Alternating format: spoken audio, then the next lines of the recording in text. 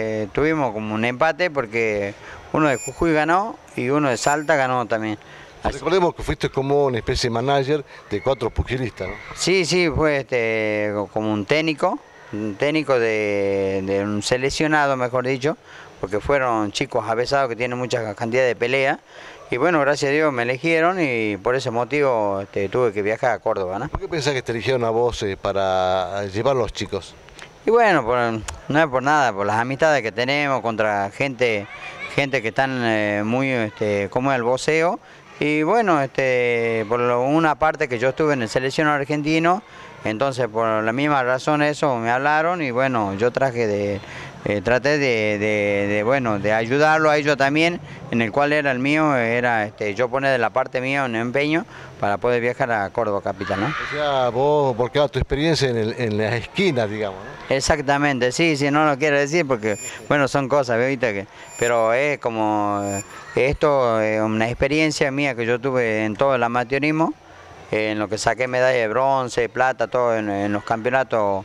este, nacionales e interprovinciales. Entonces, por eso, gracias a Dios, me eligieron y bueno, tuve la oportunidad y saqué, ganamos dos peleas, que los dos salieron campeones y los dos subcampeones. Bueno, el problema es eh, poder manejar a chicos que no los, no los seguiste durante su carrera. Claro, no son, son chicos de- especialmente que no son míos, son, eh, son gente de, que me lo dan para que yo los lleve por, por la conducta que, que yo tengo y por la conducta que tienen todos sus chicos, porque son chicos que realmente tienen unas muy buenas cualidades y ya están ya pasando el,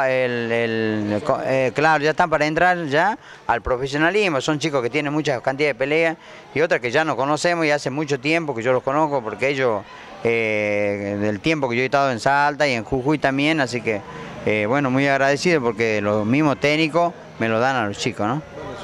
Es, algo que a vos te halaga, ¿verdad? Sí, a la verdad esto me halaga mucho porque realmente siempre me buscan como técnico, igual para via- viajar tengo ahora, hay posibilidad de que sea, no sé si para mayo, junio, tengo este, la, la come para ir a Arica, eh, que está en la parte de, de de Chile, Chile, Perú, que viene, está en el límite de Perú, ya también tengo un campeonato en la cual, bueno, ya voy a buscar que, que los chicos de acá, de, de, de pueda llevar alguno, porque sobre todo hay, muchos chicos, sino que lo que pasa que tienen que estar muy bien preparados, porque tampoco no es, no es sacarlo a otro lugar y no tener, hacerlo golpear y no prepararlo bien, ¿no?